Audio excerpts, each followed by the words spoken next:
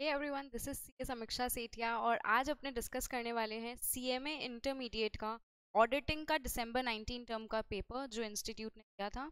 तो गाइज़ आपके paper number 12 के दो पार्ट्स होते हैं।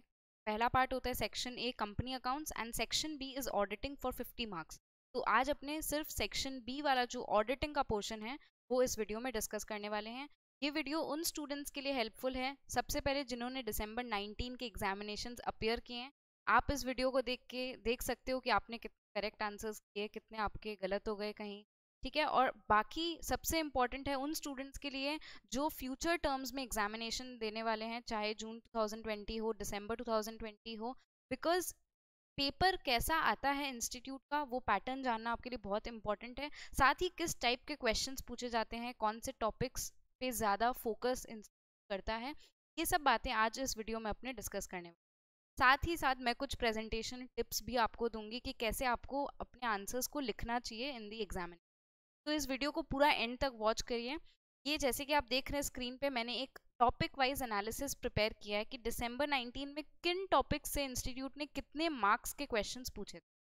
तो गाइज़ आपका 50 मार्क्स का होता है section B but as you can see जो पेपर सेट होता है that is of 66 marks total paper जो सेट होता है दैट इज़ ऑफ़ 66 मार्क्स तो आपको अटेम्प्ट करना होता है यहाँ से 50 मार्क्स का। ये जो 66 मार्क्स का एनालिसिस मैंने किया this includes objective questions plus descriptive questions दोनों ही मैंने यहाँ पे इंक्लूड किया है। आपको पता होगा कि आपका जो एग्ज़ाम होता है, उसमें 14 मार्क्स के तो आते हैं ऑब्जेक्टिव क्वेश्चंस और बैलेंस 36 मार्क्स के आपको अटेम्प्ट करने होते हैं डिस्क्रिप्टिव क्वेश्चन तो 12 मार्क्स का हर एक क्वेश्चन रहता है, उसके सब पार्ट्स रहते हैं। Out of four you have to attempt any three ठीक है? तो वैसे करके आपका टोटल पेपर होता है सिक्सटी सिक्स मार्क्स का। Nature scope and significance of auditing इस बार इंस्टीट्यूट ने यहाँ से सेवन मार्क्स के क्वेश्चन पूछे हैं इस टॉपिक से। तो ये जो चैप्टर्स की डिवीज़न है, ये हमारे एस जी सी मैट के हिसाब से है। आप इसको इंस्टीट्यूट मैट से भी रेफर कर सकते हैं। आपके इंस्टीट्यूट मैट में सेवन टॉपिक्स है और यहाँ हमने नाइन टॉपिक्स में डिवाइड किया है फॉर ईजी कन्वीनियंस ठीक है? तो इंस्टीट्यूट इतने टर्म से इस टॉपिक से कोई क्वेश्चन नहीं पूछ रहा था। नेचर स्कोप एंड सिग्निफिकेंस जो कि एकदम बेसिक सा टॉपिक है। बट इस बार देखो इंस्टीट्यूट ने यहाँ से सेवन मार्क्स के क्वेश्चन अपने आएँगे डिटेल में क्वेश्चन पेपर जब डिस्कस करेंगे, मैं बताऊँगी आपको, देखो, ये क्वेश्चन इस चैप्टर से था। Types of audit again a topic जिससे इंस्टीट्यूट पहले क्वेश्चंस नहीं पूछा करती थी बट इस बार एक शॉर्ट नोट इन्होंने इंफॉर्मेशन सिस्टम्स ऑडिट के ऊपर पूछा और साथ ही एक ऑब्जेक्टिव क्वेश्चन भी यहाँ से पूछा ऑडिट एंगेजमेंट डॉक्यूमेंटेशन इससे जनरली क्वेश्चंस आते ही हैं। जनरली ज़्यादा मार्क्स के क्वेश्चन यहाँ से आते हैं बट इस बार इंस्टीट्यूट यहाँ से सिर्फ़ थ्री मार्क्स के क्वेश्चन पूछे ऑब्जेक्टिव क्वेश्चन ही इंटरनल कंट्रोल से भी क्वेश्चंस हर बार ही आते हैं, इस बार भी सिक्स मार्क्स के क्वेश्चन पूछे। तो टोटल अगर ब्लॉक ए की हम बात करें फ़र्स्ट पार्ट की तो वहाँ से ट्वेंटी वन मार्क्स के क्वेश्चन आए थे। नेक्स्ट पार्ट जो कि कंपनी ऑडिट पे फोकस करता है प्रोविजंस ऑफ़ कंपनीज़ एक्ट 2013 के ऊपर फोकस करता है कंपनी ऑडिट वन जो हमारे एस जी सी मैट के हिसाब से है, उसमें से 19 मार्क्स के क्वेश्चंस आए। तो मैं क्लास में भी ये चीज़ आपको कहा करती थी guys company audit one is very very important यहाँ से एक तो पूरा का पूरा ट्वेल्व मार्क्स का क्वेश्चन आपका डिस्क्रिप्टिव वाला आता है। साथ ही इस बार तो इंस्टीट्यूट ने ऑब्जेक्टिव में भी भर भर के कंपनी ऑडिट वन से क्वेश्चन कंपनी ऑडिट टू जो कि शेयर्स डिबेंचर्स डिविडेंड इनकी ऑडिट हो गई। उसमें से नाइन मार्क्स के क्वेश्चन आए थे। हर बारी इससे क्वेश्चन आती हैं। कॉस्ट एंड सेक्रेटेरियल ऑडिट से भी इंस्टीट्यूट एक क्वेश्चन हर टर्म में ही पूछता है। वही ट्रेंड इंस्टीट्यूट ने इस बार भी फॉलो की। सेवन मार्क्स के क्वेश्चन यहाँ से आए, यानी कि एक डिस्क्रिप्टिव क्वेश्चन और कुछ objective question auditors report and certificate इससे सिक्स मार्क्स के क्वेश्चन है तो टोटल अगर ब्लॉक बी की मैं बात करूँ प्रोविजंस ऑफ़ कंपनीज़ एक्ट 2013 तो यहाँ से टोटल 41 मार्क्स के क्वेश्चन आए। ये सबसे ज़्यादा वेटेज कैरी करता है आपके auditing paper audit of different undertakings यानी हॉस्पिटल म्यूनिसिपैलिटी कोऑपरेटिव ये सारी जो ऑडिट्स होती है, इससे हर बार एक शॉर्ट नोट आता ही है। सेम इंस्टीट्यूट ने ट्रेंड अपना नहीं ब्रेक किया, इस बार भी एक शॉर्ट नोट पूछा गया म्यूनिसिपैलिटीज के ऊपर। ये क्लास में भी हमने प्रेडिक्ट किया था कि शायद इस बार म्यूनिसिपैलिटी लोकल बॉडी पूछ सकते हैं और इंस्टीट्यूट ने वही पूछा। तो इससे ये मतलब नहीं है कि क्लास में हम जो भी प्रडिक्शन करते हैं, वो सच हो सकती है। कुछ अंदर से एक इंट्यूशन आती है, जिसके हिसाब से हम आपको बता देते हैं। तो अभी अपने पूरा डिटेल में पेपर को डिस्कस करते हैं वन बाय वन तो पहले अपने मल्टीपल चॉइस क्वेश्चन से स्टार्ट करते हैं। Question number one section 146 of companies act 2013 deals with देखो, मैंने आपको क्लास में भी कई दफ़ा कहा है कि सेक्शन नंबर्स आप भले ही आंसर में ना लिखो, वहाँ से आप निकल सकते हो you can escape but institute क्या करता है? मल्टीपल चॉइस क्वेश्चंस में ट्रू फॉल्स में ये सारे सेक्शंस को पूछ लेते हैं। आपके मल्टीपल uh, चॉइस हो गए मैच द फॉलोइंग हो गया ऑब्जेक्टिव क्वेश्चन में वो सेक्शन नंबर की टेस्टिंग कर लेते हैं। तो यहाँ से आप भाग नहीं सकते और एक एक मार्क का हर एक एमसीक्यू है जो कि बहुत वैल्यू कैरी करता है आपके ओवरऑल स्कोर पर तो section 146 is auditor to attend general meetings अब ये भी सेक्शन 146 ऐसा पूछा जो कि स्टूडेंट जनरली स्किप कर देते हैं क्योंकि ये बहुत छोटा सा एक सेक्शन होता है।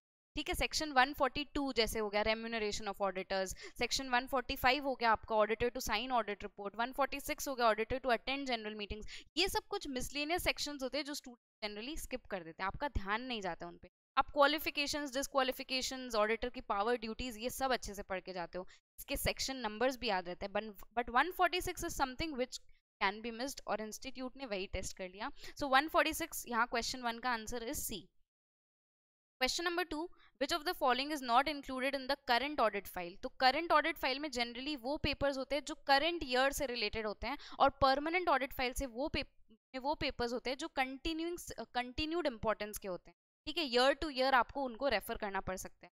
तो जो memorandum and articles of association होते हैं these are part of the permanent audit file Next question, which of the following is not an external audit evidence? Audit evidence which is obtained from an external party, not from someone inside the client place या someone inside the company. आप बाहर से किसी से audit evidence ले रहे हो तो इनमें से पूछा है कि कौन सा external audit evidence नहीं है so quotation is an external audit evidence क्योंकि आप कोटेशन किसी और से ले रहे हो confirmation from debtors again external confirmation हो गया क्योंकि डेटर बाहर वाला पार्टी है ना गुड्स रिसीव्ड नोट ये आप बनाते हो कंपनी के अंदर? So this is not an external audit evidence option C is the right answer again confirmation from bankers bankers is an external party so it is external audit evidence next ये जो question four है, इसमें कई बच्चे फंस गए होंगे। क्यों फंस गए होंगे? इसका भी रीजन है। क्योंकि ये guys provisions of companies act में नहीं फॉल करते। The question is who can act as the secretary of the audit committee तो ऑडिट कमेटी तो हम सेक्शन 177 को पढ़ते हैं बट ये जो क्वेश्चन है secretary of the audit committee this is not covered under provision of section 177 ma'am, ये कहाँ से पूछा है ये इंस्टीट्यूट ने सेबी रेगुलेशन से क्वेश्चन कर तो लास्ट टर्म भी इंस्टीट्यूट ने नॉमिनेशन एंड रेम्यूनरेशन कमेटी पे क्वेश्चन कर लिया था, जो कि सेबी रेगुलेशन से था। इस बार भी इंस्टीट्यूट एक सेबी रेगुलेशन का क्वेश्चन पूछते हैं। बट गाइज़ आप प्रोफेशनल एग्ज़ाम दे रहे हो तो आप इतने से एक मार्क के क्वेश्चन के लिए हो हल्ला नहीं कर सकते। तो इसका अगर सिंपल टर्म्स में अपने आंसर डिस्कस करें तो company secretary is the right answer but yes this question is not covered under provisions of companies act ये सेबी रेगुलेशंस का, जो ऑडिट कमेटी का रेगुलेशन है रेगुलेशन नंबर 18 वहाँ पे ये कवर्ड है। Right right? Next cost auditor is appointed by cost auditor को कौन अपॉइंट करता है? Board of directors on recommendation from the audit committee simple question था। अगेन देखो, एक और सेक्शन इंस्टीट्यूट आपका टेस्ट कर रहा है। रेम्यूनरेशन ऑफ़ ऑडिटर्स कौन से सेक्शन में गए सेक्शन नंबर 142 ठीक है? 148 में आपका कॉस्ट ऑडिट होता है 139 में आपका अपॉइंटमेंट ऑफ़ ऑडिटर होता है 143 में rights and duties of auditor यहाँ पे खत्म होते हैं हमारे मल्टीपल चॉइस क्वेश्चंस अभी आते हैं मैच द फॉलोइंग में। सेक्शन 144 एक और सेक्शन के टेस्टिंग बापरे इंस्टीट्यूट तो सेक्शंस के पीछे ही पड़ चुका है। तो section 144 is auditor not to render certain services one reporting of fraud by auditor to central government fraud reporting कौन से फॉर्म में होती है? एडीटी फोर में होती है। तो ADT four is the correct answer functional classification of audit ये भी आपके टाइप्स ऑफ़ ऑडिट में आ जाता है। टाइप्स ऑफ़ ऑडिट के हिसाब से functional classification is external and internal audit ये सारे क्वेश्चंस गाइस हमने क्लास में डिस्कस किए थे। एक एक ऑब्जेक्टिव क्वेश्चन हमने क्लास में डिस्कस किया था। तो अगर आप क्लास भी अगर डिलीजेंटली अटेंड किए हो तो आपका एग्ज़ाम बहुत ही अच्छा जाना चाहिए। Going concern is one of the fundamental accounting assumption question answer is A ठीक है? अब आपको मल्टीपल चॉइस के क्वेश्चन के आंसर कैसे लिखने चाहिए? You should write one that is the question number and then one का आंसर इज़ डी अब डी को भी आपको पूरा लिखना चाहिए auditor not to render certain services तो इससे क्या होता है थोड़ा सा आपका आंसर का जो लाइबिलिटी है वो बढ़ जाता है। इन केस आपने डी के जगह सी भी लिखा तो एटलीस्ट आपने auditor not to render certain services पूरा फ्रेज लिखा। तो डी के जगह सी लिखते हो तो उसमें भी गारंटीड मार्क्स नहीं है। बट एक होता है ना कि स्टूडेंट ने चलो पूरा करके लिखा। तो आपको कोशिश करना चाहिए कि आप ऑप्शन का भी जो डिस्क्रिप्शन है वो अपने पेपर में लिख दो। Next state whether the following statements are true और फॉल्स तो audit work reflects the work done by the management of course no audit work reflects the work done by the auditor तो it's false branch office in relation to a company means any establishment described as such by the company. ये true है as per definition given in the companies act branch office का यही मतलब होता है, कोई भी इस्टेब्लिशमेंट जिस, जिसको कंपनी ने बोला कि हमारा ब्रांच है। Cooling period of the individual auditor. तो जिन्होंने क्लास टेस्ट दिए थे कंपनी ऑडिट के, आपको पता होगा ऐसा एक क्वेश्चन आपके क्लास टेस्ट में भी था कि cooling period of individual auditor is two consecutive terms of five years cooling period चाहे वो इंडिविजुअल ऑडिटर हो, चाहे वो फर्म हो it is one term of five years each that is 5 years it is false there is no difference between statutory audit and external audit, it is false because an audit can be external, but it might not be a statutory. ठीक है कोई audit हो सकती है external party conduct करा रही है, कोई बैंक आपको इंस्ट्रक्शन दे रही है कि आप ऑडिट कराओ but it is not necessary by any statute as such वो एक्सटर्नल ऑडिट हो जाती है बट स्टैट्यूटरी नहीं. There is definitely difference statutory audit and external next question अभी अपने ऑब्जेक्टिव क्वेश्चंस खत्म हो गए तो काफ़ी बैलेंस्ड क्वेश्चंस थे कंपनी ऑडिट पे ज़्यादा फोकस था हालाँकि बट सारे ही चैप्टर से कुछ कुछ क्वेश्चंस आए थे। Next question number seven part ये डिस्कस द बेसिक प्रिंसिपल्स देखो, मैं जो कह रही थी कि चैप्टर वन जो आपका बेसिक वाला चैप्टर उससे क्वेश्चन नहीं आता है तो पहला ही क्वेश्चन उसी से है। Basic principles governing an audit as per ऐसे टू हंड्रेड तो यहाँ पे आपको बेसिक प्रिंसिपल्स लिखने थे, ये भी हमने क्लास में प्रेडिक्ट किया था, मैंने आपको बोला था कि I feel this question is important ये इंस्टीट्यूट पूछ सकते हैं। और देखो, पूछ लिया। बट अब इससे ये मत कंक्लूड करना कि मैम भविष्यवाणी कर लेती है मैम बता देती है कौन से क्वेश्चन आते ये हमने एक प्रेडिक्शन किया था जो कि सच हो गया, ये प्रोबेबिलिटी होती है एक सच या झूठ होने की। बेसिक प्रिंसिपल्स क्या थे? Integrity objectivity independence confidentiality then skills and competence की ऑडिटर स्किल्ड होना चाहिए, उसके पास कॉम्पिटेंस होना चाहिए टू एग्जीक्यूट द वर्क उसके बाद वर्क डन बाय अदर्स अगर ऑडिटर किसी और के काम को यूज़ कर रहे तो ultimately the auditor is responsible for the audit opinion then we had sufficient appropriate audit evidence the auditor should obtain sufficient appropriate audit evidence. उसके बाद था then planning, then audit conclusions and reporting. So these are certain basic principles governing an audit as per SA 200. Next question, the existence of a good internal check system reduces to a great extent the work of the auditor but does not reduce his liability. So definitely the statement is true कि एक अच्छा internal check system जब होता है it reduces to a great extent the work of the auditor but इसका मतलब ये नहीं auditor is no longer liable for any audit opinion that you are giving ठीक है how much to rely on the internal check system depends on the tact, the skill and the professional judgment of the auditor. ठीक है तो internal check की यहाँ पे आपको कुछ फंडामेंटल एम्स के बारे में डिस्कस करना था कि एक इंटरनल चेक एग्जिस्ट करता है तो उसकी एम्स क्या है? उसकी एम सबसे पहले तो है कन्फर्मेशन ऑफ़ सर्टेन फैक्ट्स जो भी आपके डॉक्यूमेंट्री एविडेंसेस हैं से उनसे जो फैक्ट्स डिस्क्लोज हो रहे हैं, उनको कन्फर्म करना। उसके बाद फंक्शनल रिस्पॉन्सिबिलिटी को फिक्स करना। इंटरनल चेक सिस्टम अगर है ऑर्गेनाइजेशन में, जैसे हमने क्लास में एग्जांपल लिया था कैश कैश डिपार्टमेंट का, कि कैश वाउचर एक बंदा बनाता है बट पेमेंट एक कोई और करता है अकाउंटिंग एंट्री उसकी कोई और करता है तो इससे क्या होता है फंक्शनल रिस्पॉन्सिबिलिटी आप फिक्स कर सकते हो।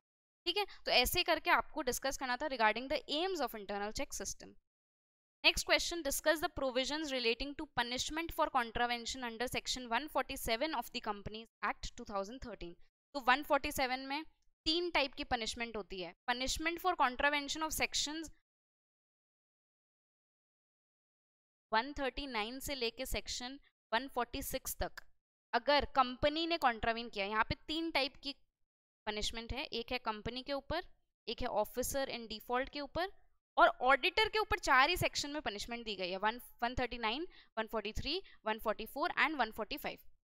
ये सब अगर ऑडिटर कॉन्ट्रावीन करते हैं तो ऑडिटर के ऊपर भी पनिशमेंट बेसिकली तीन लोग यहाँ पे पनिशेबल है, सबसे पहले कंपनी तो कंपनी के ऊपर कितना फाइन लगता है? If company contravenes the provisions of sections 139 to 146 कितना पनिशमेंट है बताओ कंपनी के ऊपर? कंपनी के ऊपर है from twenty five thousand to rupees five lakhs ठीक है? ट्वेंटी फाइव थाउज़ेंड से फाइव लैक्स के बीच में कोई भी फाइन इम्पोज किया जा सकता है on the company for officer in default imprisonment up to one year one year तक इम्प्रिजनमेंट हो सकते हैं। Fine ranging from ten thousand rupees to one lakh rupees या फिर बोथ आपको फाइन भी देना पड़ेगा जेल भी जाना पड़ेगा बोथ ऑडिटर के ऊपर क्या पनिशमेंट है? So if the auditor forty the one forty 139 143 144 145 तो ऑडिटर के ऊपर जो पनिशमेंट है that is minimum twenty five thousand rupees का fine minimum twenty five thousand rupees का fine up to rupees it can go up to rupees five lakhs और the remuneration of auditor four times the remuneration of auditor whichever is lower क्या बोला? पच्चीस हज़ार से लेके पाँच लाख तक, और four times the remuneration of auditor whichever is lower but if the auditor intentionally contravenes the provision of these four sections with intention to deceive the shareholders the tax authorities और द कंपनी तो अगर आप जानबूझ के कर रहे हो तो आपके ऊपर जो फाइन है, वो है पचास हज़ार से लेके पच्चीस लाख तक या फिर eight times the remuneration of auditor whichever is lower तो ये तीनों पनिशमेंट आपको लिखनी थी। अब देखो गाइस छह मार्क्स के लिए पूछा है तो आपको पूरा सेक्शन को कवर करना पड़ेगा। तो तीन टाइप के आपने पनिशमेंट लिख दी। उसके बाद ऑडिटर के ऊपर और एक सेक्शन सब सेक्शन यहाँ पे है कि अगर ऑडिटर कॉन्ट्रावीन करता है provisions of these particular sections तो ऑडिटर को एक तो अपनी रेम्यूनरेशन जो है वो रिफंड करनी पड़ेगी टू द कंपनी यस आपको जो रेम्यूनरेशन मिली वो आपको रिफंड करनी पड़ेगी.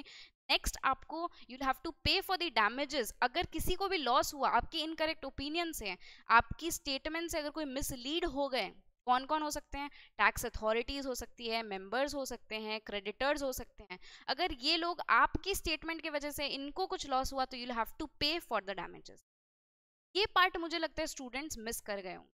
आपने पनिशमेंट शायद लिख दी होगी but this part you might have another important point in this uh, particular section 147 is in case of criminal liability of a firm. Case of अच्छा यहाँ पे जहाँ पे पचास हज़ार से पच्चीस लाख तक आपको फाइन देना पड़ेगा इधर वन ईयर की इम्प्रिजनमेंट भी है एंड वन ईयर का इम्प्रिजन यहाँ पे एंड की कंडीशन ठीक है? तो ये पार्ट भी हो सकता है आप मिस कर गए हो। उसके बाद एक इंपॉर्टेंट पार्ट ये है कि अगर क्रिमिनल लाइबिलिटी है फर्म के ऊपर तो अदर देन फाइन मतलब अगर जेल जाना पड़ेगा तो the respective partner who colluded in the fraud और abetted in the fraud has to go to the jail उसको इम्प्रिजनमेंट वाला जो पनिशमेंट है, वो लेना पड़ेगा in case of a firm the engagement partner who has abetted who has colluded in the fraud intentionally deceive करने का जिसका नियत था, उसको जाना पड़ेगा जेल तो काफ़ी अच्छा क्वेश्चन था ये। सेक्शन 147 के ऊपर। उसके बाद आता है list down certain services which are not to be rendered by the auditor कौन सा सेक्शन है गाइस सेक्शन नंबर ये तो हम भूल ही नहीं सकते। 144 144 में बेसिकली आठ सर्विसेज़ को प्रोहिबिट किया गया है कि ऑडिटर ये आठ सर्विस तो प्रोवाइड करेगा ही नहीं। साथ में एक नौवा और जोड़ दिया गया ninth any other services as may be prescribed तो वो रूल्स में अभी कोई सर्विसेज़ ऐसी प्रिस्क्राइब नहीं है बट आठ कौन सी सर्विसेज़ हैं? पहला हो गया आपका accounting and book keeping services दूसरा हो गया इंटरनल ऑडिट तीसरा हो गया design and implementation of financial information system for your client फिर आपका हो गया investment banking services investment advisory any kind of outsourced financial financial services if you are giving, any kind of management services actuarial services तो ये आठ services जो हैं, ये ऑडिटर नहीं दे सकता है कंपनी की, जिस कंपनी की वो ऑडिट कर रहे हैं। ठीक है? And the last point is any other services as may be prescribe तो ये काफ़ी इजी क्वेश्चन था 144 एक बहुत ही फ़ेमस क्वेश्चन है। इंस्टीट्यूट को बहुत ही मोहब्बत है इस क्वेश्चन से और इस बार फिर उन्होंने बताया how much they love this question next question with reference to the company's rules 2014 as amended, discuss provisions relating to maintenance of cost accounting records and cost audit. तो दो क्वेश्चन है गाइज़ एक आपको बताना है कॉस्ट अकाउंटिंग रिकॉर्ड्स के बारे में, दूसरा बताना है कॉस्ट ऑडिट के बारे में. तो यहाँ पे सबसे पहले आपको रूल नंबर बताना होगा. Rule number three of cost accounting cost records and audit rules 2014 ये ये बताता है कौन सी कंपनीज़ को मेंटेन करने हैं कॉस्ट रिकॉर्ड तो कौन सी कंपनीज़ को करने हैं?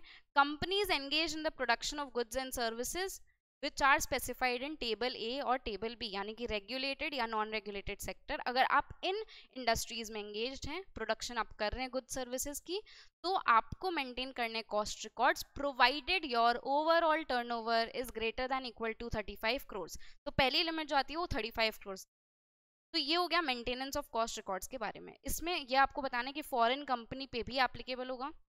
But foreign company which is having only a liaison office in India उसकी सिर्फ़ ऑफ़िस है इंडिया में and it is engage in import and supply of medical devices आप कुछ लैब के इक्विपमेंट्स जो मेडिकल डिवाइसेज हैं, वो आप इम्पोर्ट करते हो, उसको सप्लाई करते हो, आपकी सिर्फ़ इंडिया में लाइजन ऑफ़िस है।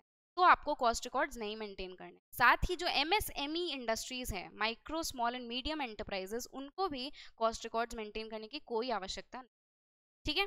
उसके बाद आता है कॉस्ट ऑडिट मैम किसके ऊपर एप्लीकेबल होगी? तो यहाँ पे आपको दो रूल्स के रेफरेंस देने हैं rule three and rule five is regarding applicability of cost audit तो रूल फाइव क्या बोलते हैं? उन कंपनीज़ को कॉस्ट ऑडिट करानी पड़ेगी जो रूल थ्री के हिसाब से कॉस्ट रिकॉर्ड्स मेंटेन कर रहे हैं एंड जिनका overall turnover in the immediately preceding financial year is 50 crore or more और टेबल ए प्रोडक्ट्स मतलब टेबल ए प्रोडक्ट्स जो है रेगुलेटेड सेक्टर्स की, उनमें अगर ओवरऑल टर्नओवर आपका 50 करोड़ से ज़्यादा होता है and individual turnover of individual product service अगर आपका 25 करोड़ से ज़्यादा होता है तो आपको कराना होगा cost cost audit non regulated sector में जो है नॉन रेगुलेटेड सेक्टर में अगर आपका ओवरऑल टर्नओवर 100 करोड़ से ज़्यादा हुआ और इंडिविजुअल प्रोडक्ट सर्विस का अगर टर्नओवर आपका 35 करोड़ से ज़्यादा हुआ तो आपको मेंटेन तो आपको कराना होगा कॉस्ट ऑडिट ठीक है? तो ये हो गया आपका कॉस्ट रिकॉर्ड्स और कॉस्ट ऑडिट का applicability next question discuss briefly some of the situations calling for qualifications in the audit report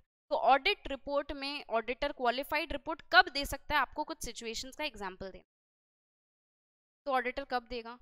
qualified report इधर when the books of accounts as prescribe by law have not been maintained या फिर auditor is not being able to obtain the documents required for audit उनको audit के लिए documents ही नहीं मिल रहे information proper नहीं मिल रही। और when the financial statements are not showing a true and fair view यानी कि आपने अकाउंटिंग स्टैंडर्ड्स को नहीं फॉलो किया कंपनीज़ एक्ट की प्रोविजंस को नहीं फॉलो किया एक्सपेंस और इनकम्स जो है वो ठीक से बुकिंग नहीं हुई ठीक है? तो ये सारे सिचुएशंस है when the auditor might issue a qualified report और भी कई सारी सिचुएशंस है तो आपको सिचुएशन के साथ में एग्ज़ाम्पल भी लिखना होगा ठीक है? बुक्स ऑफ़ अकाउंट्स अगर प्रॉपर uh, मिल नहीं रहे हैं या फिर सीज हो गए इनकम टैक्स अथॉरिटीज से फायर एक्सीडेंट की वजह से अगर जल गए हैं ठीक है? तो ये सब कुछ सिचुएशंस है जहाँ पे आप qualified audit report next question number ten branch audit के ऊपर आपको शॉर्ट नोट लिखना है। तो ये एक बहुत सिंपल क्वेश्चन है। Branch audit section 143 sub section 8 में ब्रांच ऑडिट कवर्ड है। तो आपको ब्रांच ऑडिट के बारे में लिखना है कि ब्रांच ऑडिट कौन कर सकता है? या तो कंपनी का ऑडिटर कर सकता है या फिर कोई और person is appointed as auditor of that particular branch तो वो भी ब्रांच ऑडिट कर सकते हैं। उसके बाद आपको लिखना है ब्रांच ऑडिटर के ऊपर वो सारी ड्यूटीज़ एंड पावर्स है जो कि सेक्शन 143 में कंपनी ऑडिटर के ऊपर है। ब्रांच अगर आपका आउटसाइड इंडिया लोकेटेड है तो ऑडिट कौन करेगा? इधर the company auditor or any other person who is and who is qualified to be an auditor as per the laws of that particular country वो उस ब्रांच की ऑडिट करेगा। Branch auditor अपनी रिपोर्ट को forward करता है to the company company auditor, अगर branch auditor की रिपोर्ट में कुछ क्वालिफिकेशंस थे, कुछ क्वालिफिकेटरी रिमार्क्स थे तो उसको अपने हिसाब से डील करता है, उसको या तो डिस्क्लोज करता है ऑडिट रिपोर्ट में, या फिर अगर वो सेटिस्फाइड है कि वो जो रिमार्क्स ब्रांच ऑडिटर ने दिए थे, वो अभी ठीक ठाक हो गए हैं, जो ऑब्जेक्शन उन्होंने रेस की थी, वो कंपनी लेवल पर अगर सारे ब्रांचेस को देखा जाए तो immaterial not that material then that objection might not be reflected in the audit report fraud reporting के ऊपर सेक्शन 143 सबसेक्शन 12 जो कंपनी ऑडिटर के ऊपर एप्लीकेबल है, वो सेम प्रोविजंस ब्रांच ऑडिटर के ऊपर भी applicable so all these points to write in branch audit next question short note on information systems audit ये भी टाइप्स ऑफ़ ऑडिट से आपको पूछा गया इन्फॉर्मेशन सिस्टम्स ऑडिट होती क्या है? बेसिकली इवेल्युएशन ऑडिट क्या होती है? इवेल्युएशन होती है किसी चीज़ की एग्जामिनेशन होती है। तो evaluation of your asset safeguarding your data integrity computer system जो आप यूज़ करते हो कंपनी में, उसको इवेल्युएट करना सिस्टम की एफिशिएंसी इफेक्टिवनेस इसको चेक करना, इस पे ओपिनियन देना is information system then you have to write importance क्यों ये इंफॉर्मेशन सिस्टम ऑडिट आया? Because of high value of computers high value of computer resources high value of computer errors अगर computer में एक एरर हो जाती है तो पूरी ऑर्गेनाइजेशन हिल सकती है। सिस्टम में अगर एक एरर हो जाती है तो पूरा ऑर्गेनाइजेशन सिस्टम पे ही तो टिका है। So high value of high cost of errors rather computer abuse का बहुत चांसेस होता है। कोई भी कुछ भी एक्सेस आके कर सकता है। ये सब ऑर्गेनाइजेशन में नहीं प्रिवेसी ऑफ़ इंडिविजुअल्स को ध्यान में रखना पड़ता है। सिक्योरिटी कंसर्न होते हैं। तो all these are some reason why information systems audit is very very important next question is audit of municipalities and panchayat local bodies की आप ऑडिट क्यों करते हो? सबसे पहले तो आपको रीजन बताना है, क्यों ऑडिट होती है लोकल बॉडीज की? तो उनका जो फाइनेंशियल स्टेटमेंट है, वो true and fair view show कर रहा है नहीं कर रहा है? ठीक है? जो भी एक्सपेंसेस हुआ, उसका वैल्यू फॉर मनी इसको हम बोलते हैं value for money audit remember मैंने क्लास में भी आपको बोला था वैल्यू फॉर मनी ऑडिट कि जो भी एक्सपेंस गवर्नमेंट कर रही है, जो लोकल बॉडीज कर रही है, क्या उसका वैल्यू फॉर मनी मिल रहा है या बस ऐसे ही खर्चे किए जा रही है? है? तो identifying the value for money of all the expenses incurred adequacy of internal control system control कुछ है भी या नहीं है? अगर है तो क्या वो एडिक्वेट है या नहीं है? Then we come to how do you conduct the audit of municipalities कैसे आप करोगे ऑडिट तो सबसे पहले तो जो भी एक्सपेंसेस इनकर्ड है any expense which has been incurred is governed by the provisions of law law में जो मिनिस्टर्स हैं या जो भी लोकल अथॉरिटी लोकल अथॉरिटी है, उसको पावर है कि वो पर्टिकुलर एक्सपेंडिचर इनकर कर सके। अब सिर्फ़ पावर होने से नहीं होगा, उसका एक सैंक्शन होना चाहिए by a competent authority general sanction हो सकता है स्पेशल सैंक्शन भी। सैंक्शन होने के बाद एक प्रोविज़न ऑफ़ फंड्स मेंटेन्ड होता है। उस पर्टिकुलर खर्चा के लिए क्या एक प्रोविज़न बनाया गया या नहीं बनाया ठीक है? नेक्स्ट लास्ट पॉइंट इज़ कि is that expense economically incurred or not आपने लीस्ट कॉस्ट में मोस्ट बेनिफिट लिया या नहीं लिया? ये प्रूडेंस चेक भी एक करना पड़ता है। This is how we conduct the audit of minister last question is audit of interest on debentures आपको जब इंटरेस्ट ऑन डिबेंचर्स की चेकिंग करनी होती है तो कैसे करोगे सबसे पहले तो you have a sheet or have a calculation working calculation of the interest to be paid and then you see how much interest has been paid and then reconciling so basically checking the amount of interest due and the amount of interest paid so payable or paid ko aap reconcile karte ho number 1 next you check it with the acknowledgement receive from the debenture holders आजकल हालाँकि ये नहीं applicable होता क्योंकि सब bank transfer हो जाता है। तो ऐसा कुछ एक्नोलेजमेंट जनरली नहीं मिलेगा आपको। Then you have to see one important thing whether this expense interest on debentures has been shown as a separate item in the statement to P L or not statement of P L or not एक separate item जैसे आप interest on loan को disclose करते हो under finance cost वैसे ही आपको interest on debentures को अलग से एक सेपरेट आइटम की तरह आपको डिस्क्लोज करना है। ये disclosure requirement also has to be so that's all guys with the paper मुझे पेपर काफ़ी स्टैंडर्ड लगा। जैसे कि सारे टॉपिक्स कवर हो गए। कुछ ना कुछ क्वेश्चन हर एक टॉपिक से ही पूछा गया। जो क्वेश्चंस जो टॉपिक्स इंस्टीट्यूट पहले नहीं कवर करती थी, उसको भी कवर किया गया इस बार। एक क्वेश्चन सिर्फ़ जो था, वो आपका एलओडीआर रेगुलेशन से पूछ लिया गया but that can be excuse otherwise the paper was well balanced और अगर आपने क्लासेस को अच्छे से फॉलो किया है तो आपका पेपर खराब जा ही नहीं सकता क्योंकि everything in this paper has been covered in the class so, i hope this video was helpful to you. In, if you like this video, please hit the like button and subscribe to the channel. Also, share it with all your friends जिनको आपको लगता है ये video काम आ सकती है। That's all अगर आपको कुछ क्वेरीज हैं, आप कमेंट सेक्शन में नीचे पोस्ट कर सकते हो। Thank you guys thank you for watching